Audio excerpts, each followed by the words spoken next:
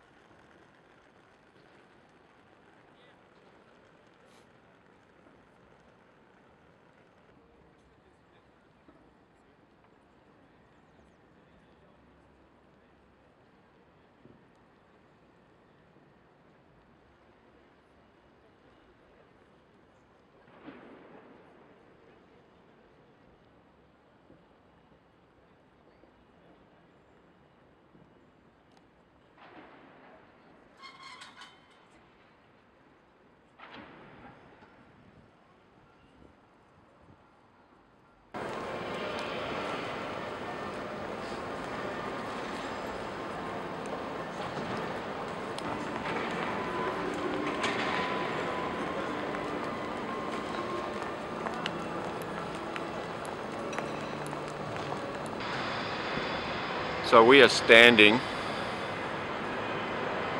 right underneath uh, La Grande Arche. And it's pretty hard to get a scale of this, how big this thing is. It's, uh, it's very, very big. So we're at La Defense, which is uh,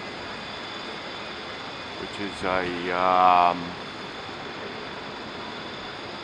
a, a quarter, a district, a, a suburb. And La Grande Arche is part of La Defense. La Defense is quite a big uh, kind of office complex, if you like. And it's very hard to get a scale of how big this uh, arch is. It's kind of a square arch, I suppose, which doesn't really make sense, but um, it's an arch and it is huge.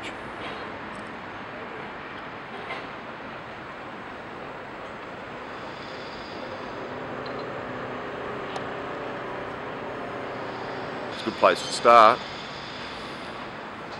and I'm going to walk home from here. So just some, um, it really is massive it's at least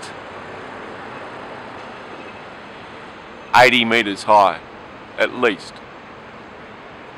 It's hard to judge exactly, but it's at least 80 meters, 90 meters high, probably 100 meters.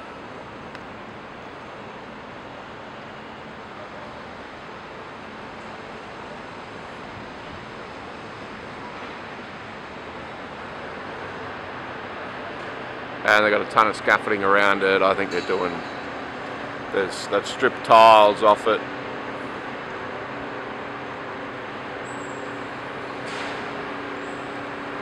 It's quite a structure, quite, quite something. I think it's actually got offices in it.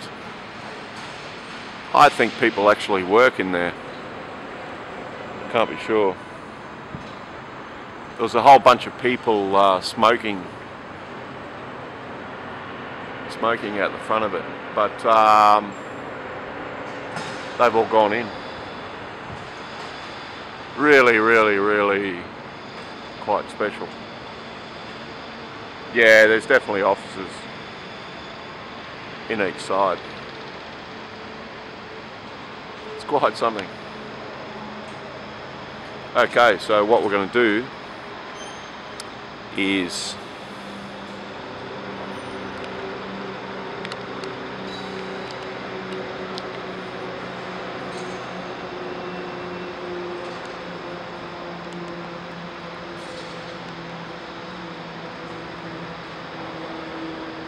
Okay, so what we're going to do is uh, I'm going to walk home from here. This is Le Grand Arche and I've got no clue how far it is to get home.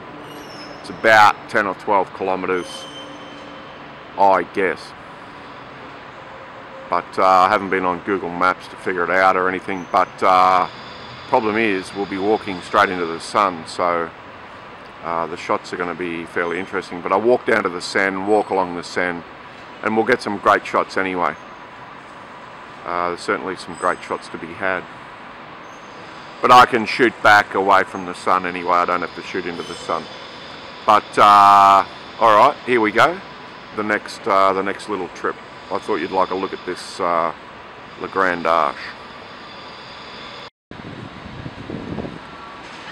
Now still at the Le Grand Arche and I'm shooting straight up Champs-Élysées and what you see right in the middle, it's quite small, I don't have a long lens on, uh, is the Arc de Triomphe. So they've kind of lined everything up in, in Paris. Uh, now there's a, there's a metro, there's a metro line, number one, which runs all the way through these these monuments. It starts with Le Grand Arche. And you can see something, I don't know what it is, but you can see something else through the Arc de Triomphe. And that's, that's further out. But one end of uh, this metro line is um, is Le Grand Arche, which is where we are. Uh, and you you head through all of the uh, monuments. You see all of the Paris monuments on this, well not all of them, but most of them, on this uh, number one metro line. And then you wind up at uh, Chateau Vincennes, which is, uh, I hope I've pronounced it properly, but that's at the other end of this line. That's maybe what we can see through the, um, through the, uh, the, uh, the Arc de Triomphe is this Chateau Vincennes, but uh, we're shooting into the sun, it's hard to see. So anyway, just a look. Just a bit of a uh, bit of a shot walking away from uh, Le Grand Arche. And right next to it is this uh, incredible structure. I just shot the inside of it. But this structure here is also uh, quite incredible. It's a, um, a self-supporting parabolic concrete uh, building and it's actually massive. This whole shape, there's no internal uh, supports. I've just been in there, uh, it's pretty nice. And this continuous shape. It's a kind of uh, parabolic, uh, well it is, it's a parabolic self-supporting uh, concrete dome. The concrete structure looks uh, maybe about a metre thick. More, it's more. Easy, could even be 1800. So that's a lot of you could sit down and work it out roughly. That is one hell of a structure. The best way I can describe uh, La Defense is uh, it's very similar to North Sydney.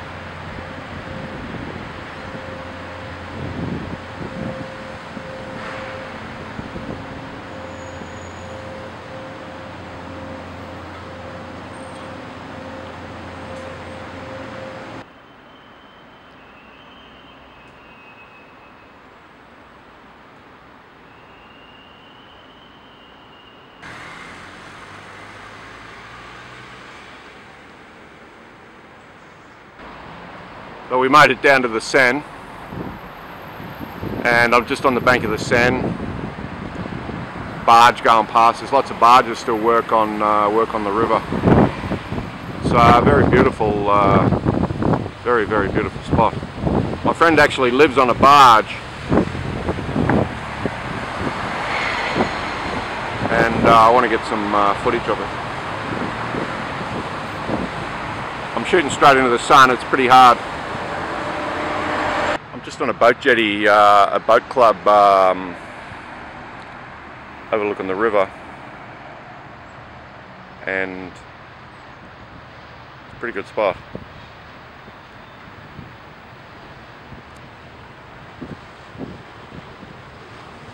Barges going past. The sun is, uh, there's not a cloud in the sky.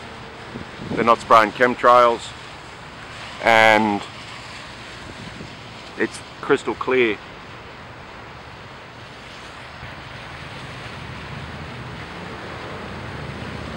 Gorgeous spot of the river.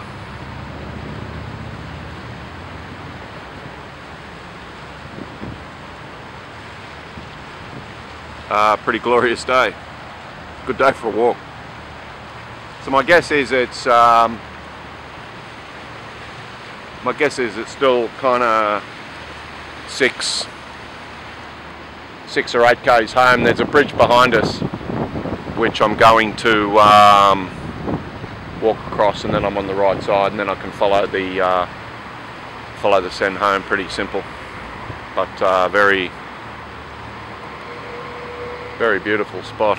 Crystal clear day. It makes it hard to uh, shoot video because you, you're working off the LD screen off the back, the LCD screen, and you can't see it. But anyway, let's carry on. I want to get home.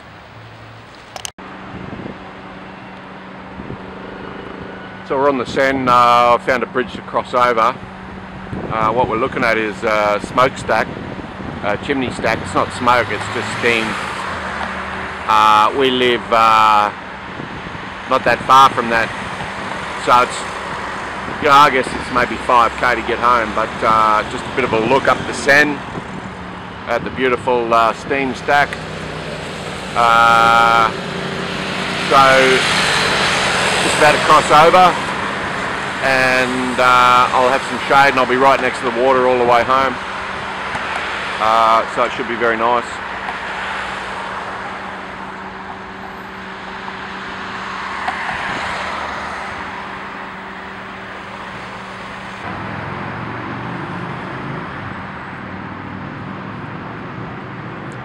So we're facing south now on the uh, on the Seine just on this little bridge and we're looking at La Defense which is where Le Grand Arche is and it's not that far from home. It's a good it's just a good walk.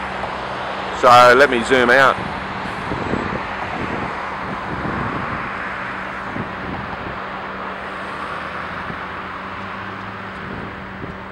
It's like a kind of a North Sydney uh, area I suppose all the major insurance companies and fuel companies, etc., etc. It's like a it's like a CBD, but uh, it's it's pretty it's pretty good. It's good for a look, and uh, it's a pretty good spot.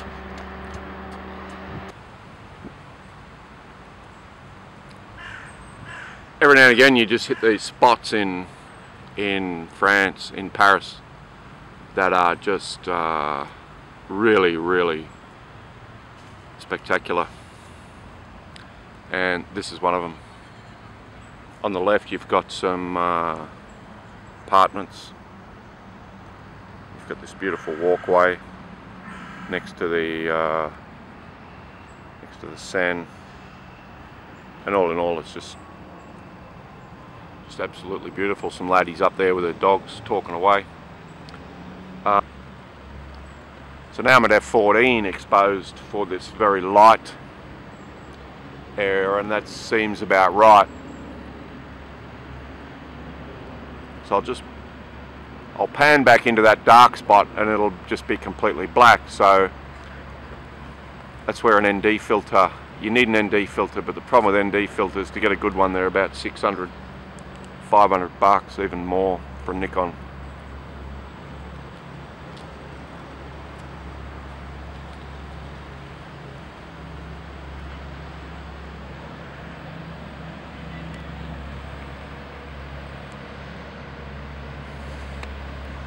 So what the ND filter does is darkens up the highlights so you can expose for darker areas without blowing it out. If you expose, like I'm exposed now, I'm on f14, uh, if you expose for the highlights, when you pan back to the dark, you can't even see these ladies with the dogs. I can't even find them.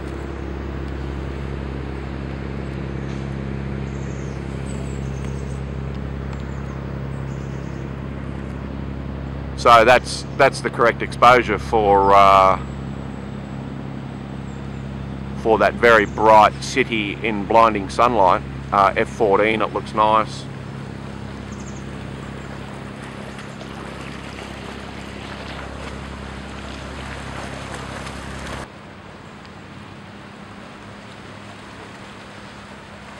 But that's a pretty good shot. Uh, that's a pretty good shot in anyone's language. kind of framed up nice. Uh, but cameras, yeah, anyway, cameras, cameras are a bit of a, uh, you can spend as much as you like. So anyway, I saw this, this lens, it's a portrait lens, it's an 85 millimeter fixed prime lens, it doesn't zoom. And it is super, super crystal clear, sharp, tack sharp, like uh, in the portraits done with this lens and uh, just something else. But anyway, that's a whole different subject. So that's five. That's only five grand Australian. Uh, you know, just uh, a bit of spare change. So photography just then the problem is it won't fit my camera. I need a full frame camera. So you know away you go. Then then you need another camera. Then then just for my camera here, just some Nikon lenses. The lens I you know, it, it just doesn't stop. So 1200 for the next lens that I want. Starting price at 1200, then we work our way up. That's, but that's for a, that's for a good uh, that's for a good uh, a good lens. The lens I got on is a kit lens. It's the lens I got with the camera. It's it's uh, it's kind of borderline acceptable, but you outgrow this stuff you outgrow this stuff very quickly. And once I get back to Australia and make some money, I'm just going to cash up and get some lenses and stuff I need because I just can't get the, I just can't get the crystal clear, tack sharp, tack sharp video and shots that I want. It's kind of acceptable, but it's kind of not once you once you see what can be done, you scout around YouTube and stuff. Once you see what can be done, uh, you kind of you don't you don't. Uh, it's it's a case of wanting to be professional. That's what it is, and and and there's a level of there's a kind of a base level of gear that you need. You know. Like this is a, this is a D7000. It's quite a few years old, but the camera's fine. The camera body will never wear out but um, uh, it's good for I don't know a quarter of a million half a million photos probably. And I'm nowhere near that. But uh, then you go this is a crop sensor there's a it's the smaller sensor then you go into the full frame sensor which takes a totally different lens.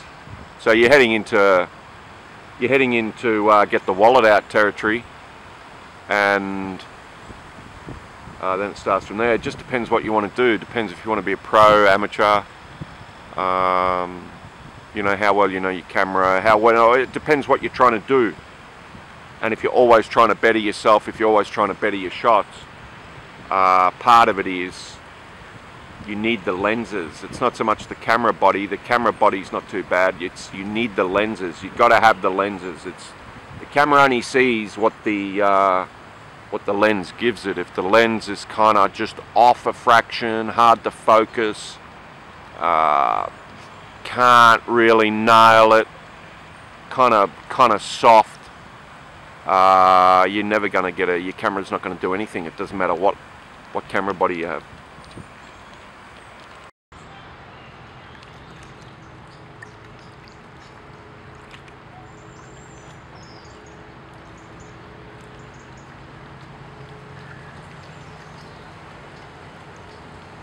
Nice little shot here, birds are singing in the shade.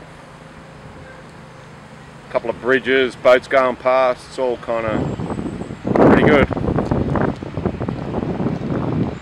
Sorry about the shakes.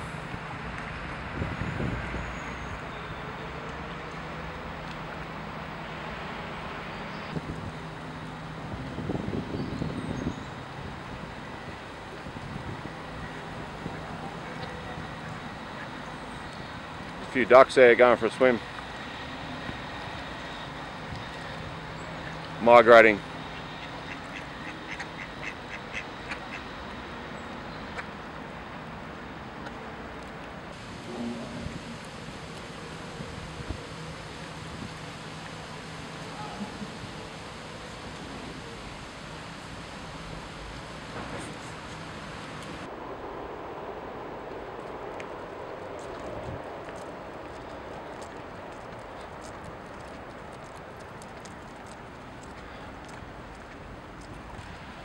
that would be uh, quite something to live in there. That one's very nice.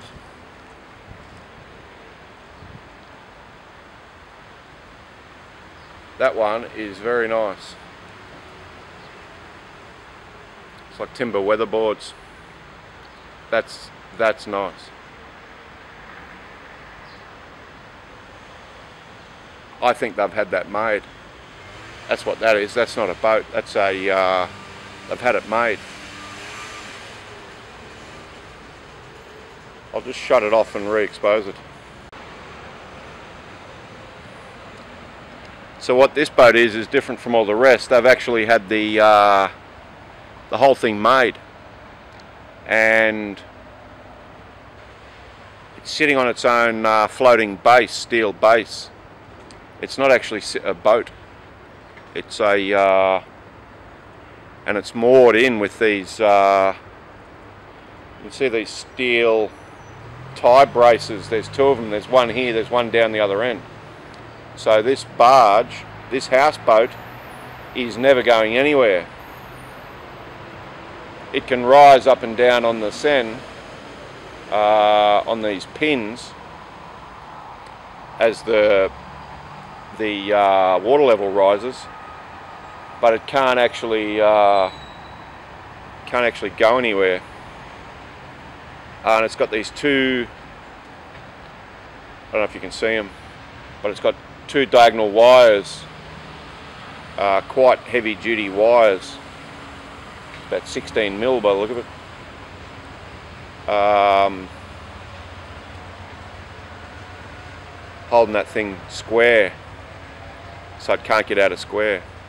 But that is a great idea. I love it.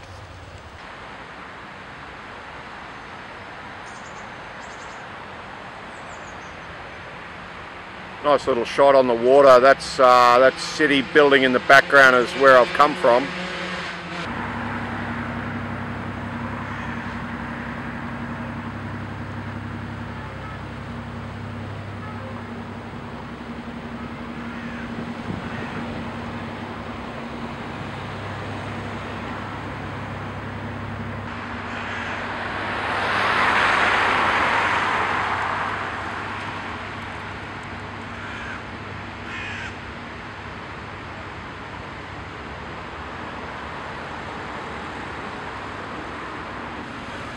So that's where I've come from. It's uh, quite a hike actually. it's